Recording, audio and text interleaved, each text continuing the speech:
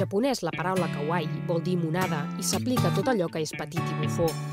Kawaii és una de les paroles que més fan servir els japonesos, tot i que darrere s'amaca un descontentament que joves artistes aprofiten per plasmar en obres d'art. Com ara l'artista Ayatakano, que pinta un món aparentment innocent, però que amaca un esperit transgressor.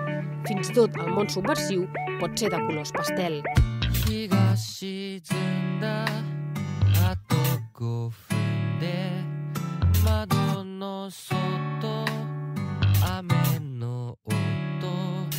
Aya Takano, que més de pintora també és dibuixant de manga, escriptora de ciència-ficció i ha treballat en la concepció visual de videojocs i de pel·lícules d'animació, fusiona les estampes tradicionals japoneses, la cultura mediàtica amb el manga i l'art pop.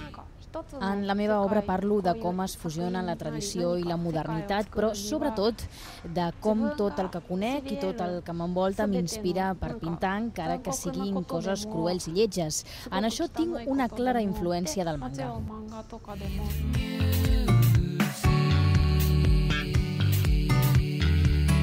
Les obres de Takano estan plenes de noies d'ulls grossos i cossos flexibles. Les seves són noies andrògines i fràgils que busquen el seu lloc en el món, a mig camí entre l'agressivitat i cruesa dels adults i la innocència i candidesa del bon infantil. M'agrada pintar les adolescents perquè encara no han acabat de créixer i són flexibles, no només físicament, sinó també d'esperit. El fet de pintar-les en aquest estat, en què encara no s'han acabat de formar, fa que puguin ser lliures del tot.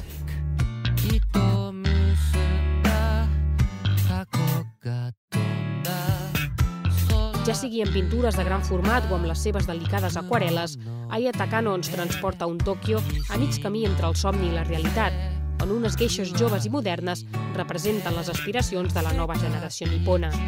La realitat també pot ser graciosa i de color rosa.